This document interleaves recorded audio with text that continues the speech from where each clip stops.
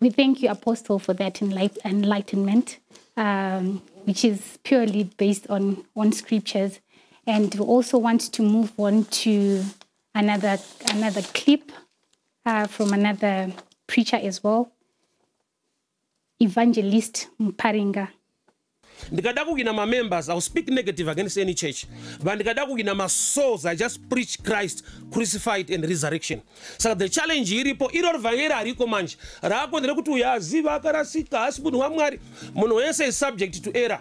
Munhu ane paanorasika munhu ane paanokanya jesu ari mwari the word became flesh akava munhu. Paakangova munhu kune zvaitika zvemunhu paari zvimwe zvinogona kuignowa nevamwe. Mukatarisa jesu akati endai munotora dhongi munoti ishe vanorida ndicharidzorera. Dhongi raritasvwa hapana scripture kana vhesi inoti pakadzorerwa dhongi. Hapana. Why? Because munhu hameno zvarara kuitwa naro ikoko. But message yakati kuti ndichadzoka nedhongi.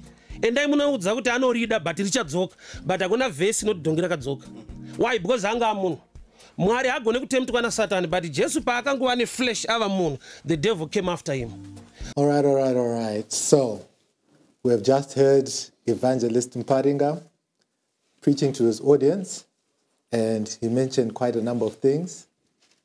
Apostle Chiwenga, please may you help to dissect what Mparinga, Evangelist Mparinga, was saying with regards to Jesus Christ, the donkey, and the donkey not there not being a verse in the Bible which was not in which the donkey was returned. And then maybe you can just touch upon the other aspects of what he was saying uh, with regards to uh, ministers of the gospel or other ministers. And um, maybe you can just enlighten us a little bit on whether what he was saying is based on sound doctrine or it is something that is coming from himself or from another source. Please, may just help us out with that. Well, um, I will start by saying anyone who is going to watch this video, who is going to, who knows Mparinga, who talks, who, who can talk to him, I would like you to know that God is going to punish him for this reckless utterances that he that he made in this video. Mparinga can make a lot of mistakes. He can misrepresent or he can claim a lot of things. But what a preacher can never do, and this applies to me as well, what a preacher should never do is to try and find fault in our Savior. That is an abomination. That is a heinous sin which he will be punished by the Lord before he leaves this world. I am not threatening him. I am not cursing him. I am speaking to you what I know the Lord is going to do. This kind of blasphemy will never be tolerated by the Lord Jesus Christ Himself. This is something that has bothered me since I watched this video a couple of days ago, and I find it very, very infuriating. Mparinga can say a lot of things negatively about me. I don't really care. But it becomes my business when he decides to assassinate the character of our Lord. It's not acceptable. Churches. Everything else being set aside. Never speak to people about Jesus and find fault in him. That is not acceptable to call such a man an evangelist is also another demonstration of our disregard to God. I want to warn Mparinga his days will be shortened if he does not repent from the statement that he made in this video. I rarely talk about another person like this. I rarely talk about somebody being punished by God. I am not someone who loves to curse people. But let us watch the space. If I am a man of God who will live to see it happening, he has to find help for what he said. Now, why is Muparinga's speech blasphemous? Why is Muparinga's speech heretic? It makes Jesus unqualified for our salvation. Muparinga says Jesus, the moment he became a man, he was fallible, subject to his own personal error as a human being. Let us hear what the Bible says about Jesus. Was he fallible when he was crucified? I don't know, maybe people love jokes a lot. Let me tell you, believers, in the Bible, there is a man who joked about God, and God took it personal and he died instantly.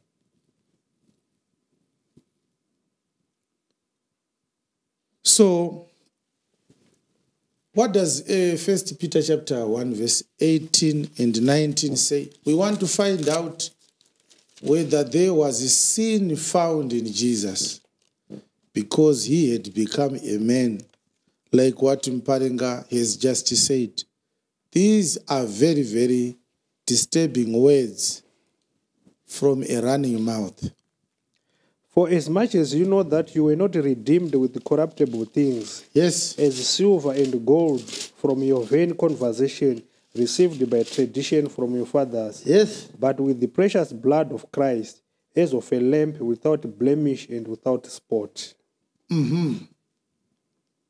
Elder Jeremiah, the scripture tells us that Jesus was a lamb without blemish Yes, and without spot. yes, Muparinga says that's not true.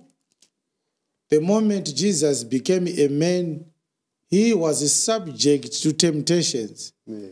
And one of the weaknesses or the sins that Jesus committed was that he borrowed a donkey and promised to return it, and he never returned it. We are going to look into his example, but not now. We want to see the scriptures first, whether it is true that Jesus was fallible. The moment Jesus was found with a blemish, he would not have qualified to die on the cross. The death of Jesus was premised on his purity, his blamelessness, his unblameworthiness. That is the foundation of our redemption. The world had no shortage of fallible men. If God wanted someone to die for us who had a weakness of his own, he could not have sent Jesus. Maybe he could have sent Mparinga's ancestors. yes. Hebrews chapter 2, verse number 18. For in that he himself hath suffered being tempted, he is able to succor them that are tempted. All right. Hebrews chapter 4. So the Bible says Jesus suffered being tempted. But the question is when he was tempted, did he succumb to the temptation? Chapter 4, verse 14. Seeing then that we have great high priest that is passed into the heavens, Jesus, Seeing that we have a great high priest who is surpassed into the heavens, yes, Jesus the Son of God, Jesus, the Son of God, let us hold fast our profession. yes, For we have not an high priest which cannot be touched with the feeling of our infirmities, we do not have a high priest who cannot be touched with the feeling of our infirmities. But, but was in all points tempted like as we are, Jesus was in all points tempted like us, yet without sin. yet without sin. So Jesus had been tempted, was tempted countless times, Yes. but the Bible says he was yet without sin. Did Jesus commit any sin? Mparinga, yes, said yes. Mparinga says, yes, Jesus committed a sin. He did not return the donkey he had actually borrowed. By the way, Jesus never borrowed any donkey. Jesus took a donkey. Yes. That is different.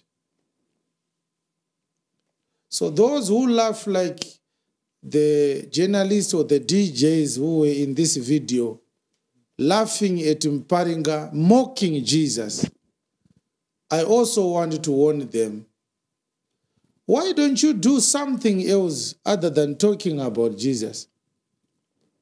Clearly, Mparinga is looking for money. He's selling proton bread in the radio station. What is that to do with Jesus? How does preaching get connected to marketing products like bread? Look, I'm warning you, if you are a journalist, I'm warning you, I'm warning you. Do not be where people mock God. Don't participate when people begin to mock Jesus Christ. Unorohwa unoitwa tsvimbo yakarova gwenzi netsuro zvese. It may be a joke to you, but it is not to God Yes. because he invested his dignity when Jesus was hanging precariously on the cross to redeem his people. Now you are looking for bank bills, dollars, and coins. You, de- you design a plan that I'm going to be using Jesus on the microphone, on the camera, to get mileage, to get followers, to get to get a prominence. You are entering into a dangerous territory. Jesus was a man. But what makes Jesus special, so special to us, that we are willing to sing all day and all night around, praising Him? He is the object of our adoration. All this preaching we do, we preach Him because He was a precious lamb without blemish. That's what makes Jesus special to us. He was a man in whom there was not found a blemish. Yes. When you find a blemish on Jesus, you are ruffling the feathers of the Godhead. And you will never go unpunished, mark my words. First Peter chapter 2, verse 20 to 22. For what glory is it if, when you are buffeted for your faults, you shall take it patiently? But if, when you do well and suffer for it, you take it patiently, this is acceptable with God.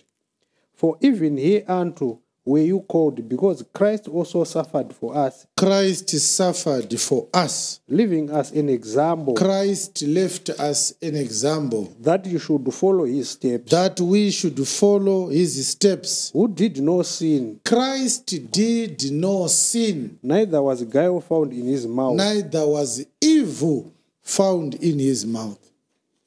How many scriptures have I read so far to show you that Christ was found with no guile in his mouth? Where is the evidence that Jesus made mistakes as a human being? Where is that evidence? The evidence is in Mparinga's mouth and not in the scriptures.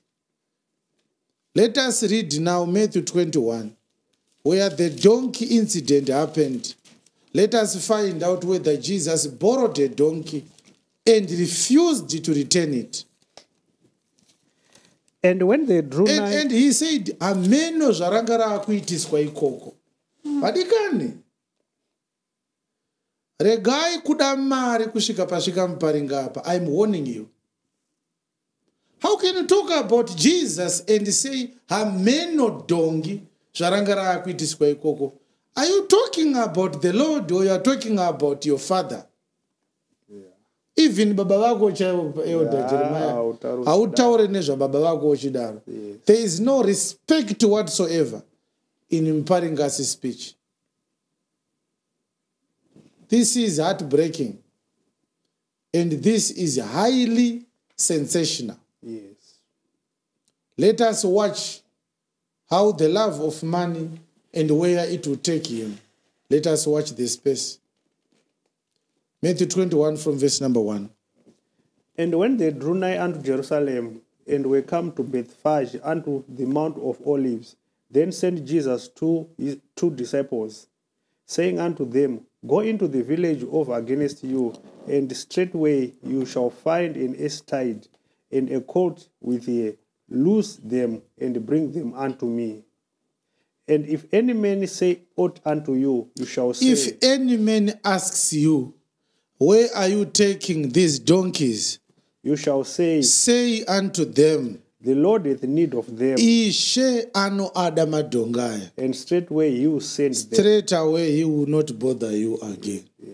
Tell me, those who love Mparinga, tell me, Mparinga, tell me, where did you obtain a scripture in the Bible in which Jesus promised to return those two donkeys? Brethren Chico, can we watch it again? Some people will say, Mparinga never said Jesus promised to return that donkey. I heard it. We just played that part until he said, Amene zvaranga raakuitiswa ikoko. munhu wese is subject to error munhu ane paanorasika munhu ane paanokanya. Jesu ari mwari the word became flesh akava munhu. Paakangova munhu kune zvaitika zvemunhu paari zvimwe zvinogona kuignowa nevamwe. Mukatarisa jesu akati endai munotora dhongi munoti ishe vanorida ndicharidzorera. Dhongi raritasvwa hapana scripture kana vhesi inoti pakadzorerwa dhongi. Hapana. Why? Because munhu hameno zvarara kuitwa naro ikoko. But message yakati kuti ndichadzoka nedhongi endai munoudza kuti anorida but richadzoka but hakuna vhesi inoti dhongi rakadzoka why because anga amunhu I want to warn those who can identify the voice that laughed after Mparinga said this. Please write down the name of this person. Write it down, and you will see what God is going to do with this situation. I am here to tell you that God is angry at Mparinga because of what he did. And he caused a sinner to blaspheme by mocking the Holy Son of God. Jesus is described as thy holy child. That means the infallible, never defiled with the sin child. That's what it means. Well, others may say, where is it written? It's there in Acts chapter number 4, from verse number 24. Jesus is described as the Holy Son of God. The word Eh. holy, it means never committed a sin. Yes. Yes. And when they heard that, they lifted up their voice to God with one accord and said, Lord, thou art God, which hast made heaven and earth and the sea and all that in them is, who by the mouth of thy servant David had said, Why did the heathen rage and the people imagine vain things? The kings of the earth stood up, and the rulers were gathered together against the Lord and against his Christ. Yes.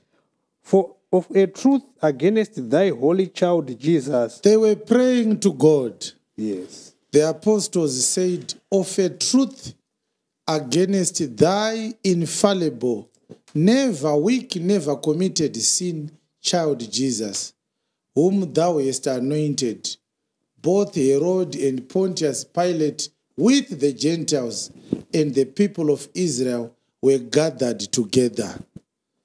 And so even at the time our Lord was crucified, he was crucified without any sin. He had committed no mistake. And that Jesus could not have committed any mistake is the center of our faith. Amen. What makes Jesus special is that he could not commit a sin. The moment a mistake is found in Jesus, he becomes like any one of us. Yes. This is the very matter that a certain dandiad, a certain charlatan, a man who has just come to town a few years ago from the farms, he has found people who are desperate for jokes. He decides to joke with the integrity of our Savior. It's not just incensing, incensing to us, it's provocative. We can't ignore this. I'm very amazed by these charlatans. There is so much mufunge. You can joke with a lot of things. Why do you find the name of Jesus to be the object of ridicule in a bid to commit to joking? You want to crack a joke? You then despise our Lord. Brethren, is this acceptable? I want to tell you, believers, if I come to Jesus, Revelation Ministries, and I speak like this, if you do not rebuke me, we are going to be consumed together by God. It's not acceptable. Yes. It's not acceptable. You want to give an example that everyone can make a mistake. And your example of a man who can make a mistake is Jesus, The just one. the just one. Yeah, yeah, yeah. Thank you, Elder. You cited another description of Jesus which focuses on his infallible nature. Stephen described him as the just one. Peter described him as the just one in verse 14 of Acts chapter 3. Let's hear him.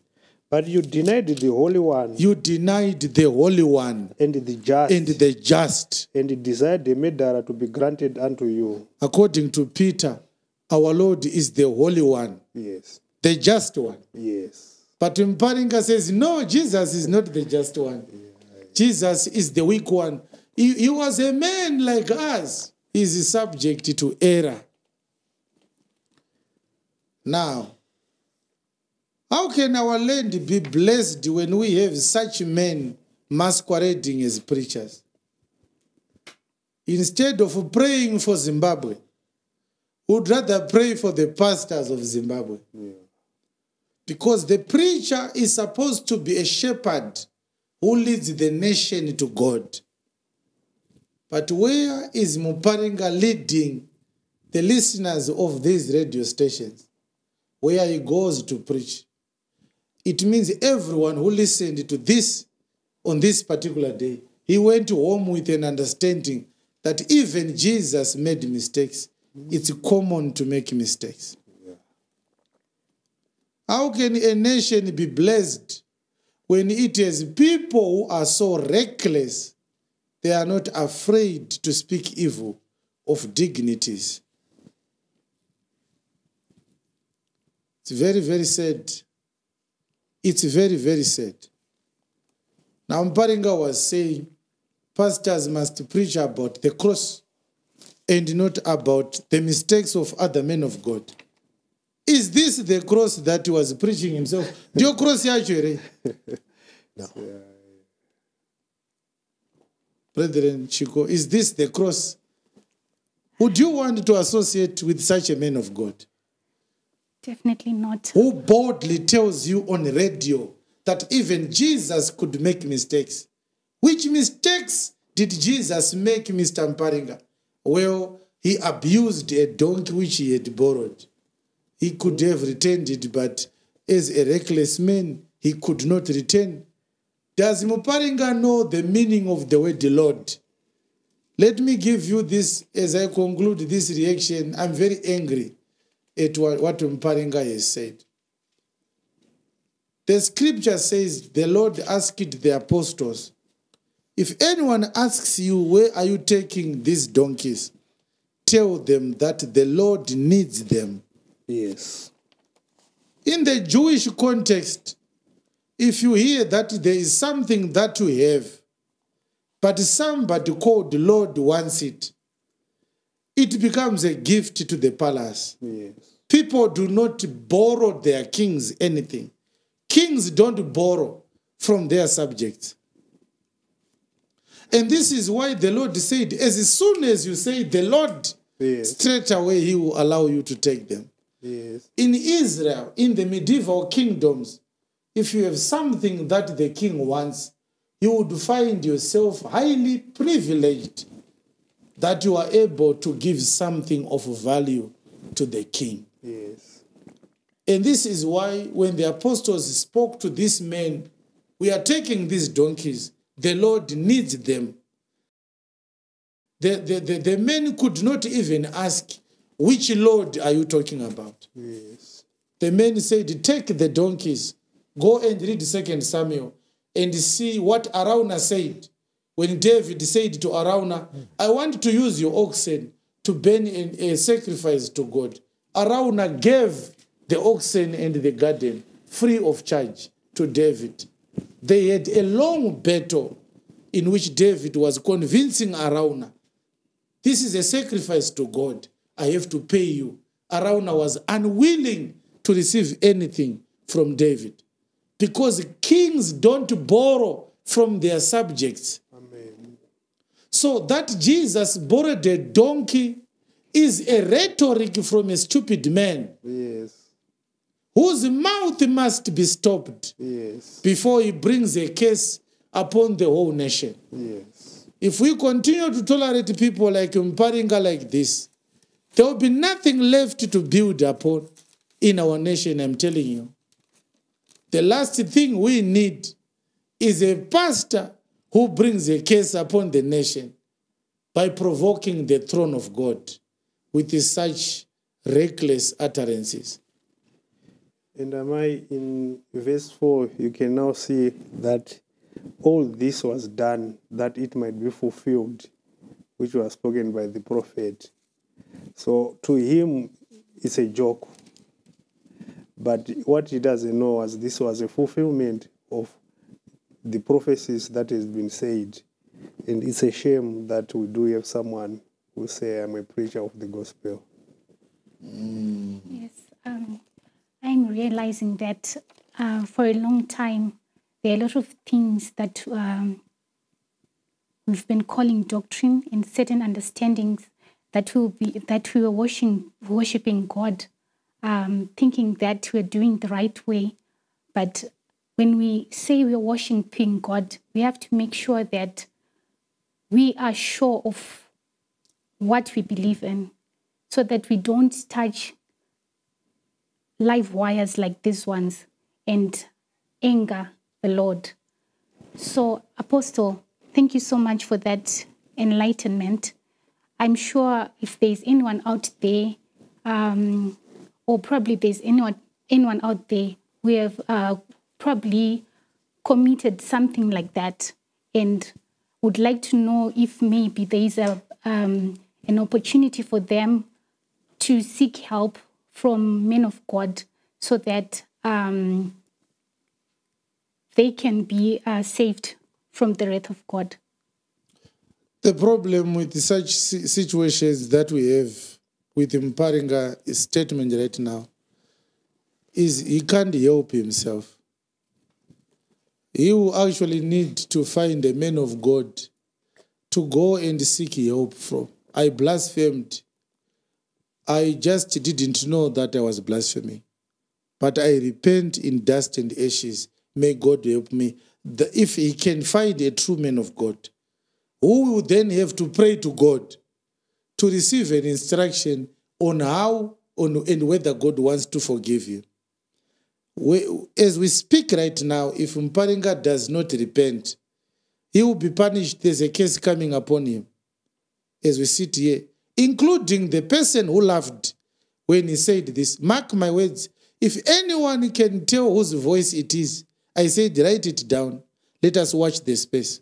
We don't worship an idol, we worship a God who does not sleep or slumber.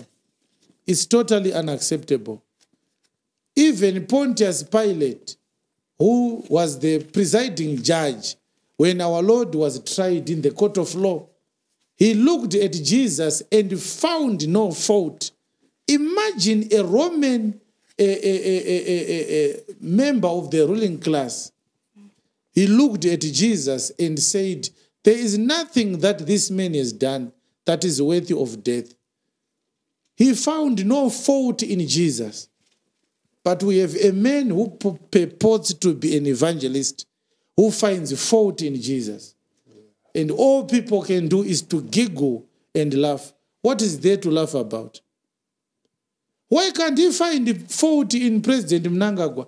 haasati ambotaura nezvefault yapurezidendi vari kuuraya vanhu nekutsakatisa vanhu munyika nyika yese ichiona you can't find fault in a murderer called mnangagwa you find fault in jesus let us see what god will do to him. But this is totally unacceptable. The unfortunate thing is these kind of utterances bring a curse upon the nation. The moment you receive such a man to your congregation and listen to him as he preaches the curse that is upon him will come upon your life. And this is why there is such a scripture in in in in in uh, Second John, chapter one, verse seven. For many deceivers are entered into the world, who confess not that Jesus Christ is come in the flesh. This is a deceiver and an antichrist. Look to yourself that we lose not those things which we have wrought, but we receive a full reward. Whosoever transgresseth and abideth not in the doctrine of Christ hath not God. He that abides in the doctrine of Christ, he hath both the Father and the Son. 10. If they come in unto you and bring not this doctrine, receive him not into your house, neither bid him Godspeed. Why? For he that biddeth him Godspeed is a partaker of his evil deeds. So those who are inviting Mparinga at their churches, they are becoming partakers of Mparinga's evil deeds.